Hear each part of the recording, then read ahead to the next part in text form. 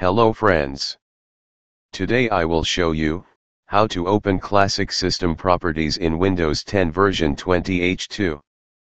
The System Properties applet is now hidden in Windows 10 version 20H2. Regardless of the method you use to open it, it doesn't appear, bringing up the newest About page of settings. The classic applet no longer opens.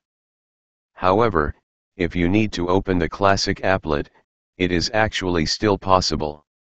You can access the classic system properties applet faster if you create a shortcut to open it.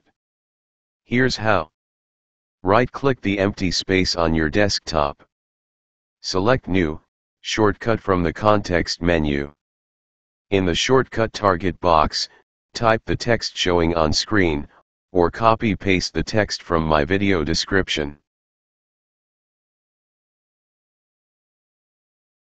Click Next. Type System Properties for the name of the shortcut. Actually, you can use any name you want. Click on the Finish button when done.